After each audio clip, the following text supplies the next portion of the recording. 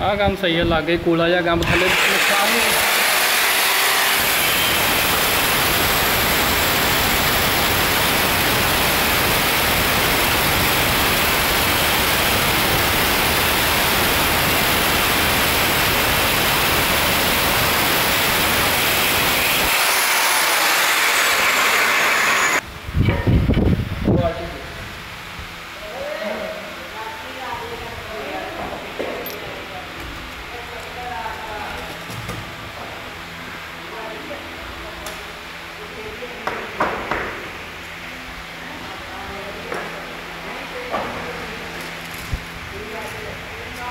Thank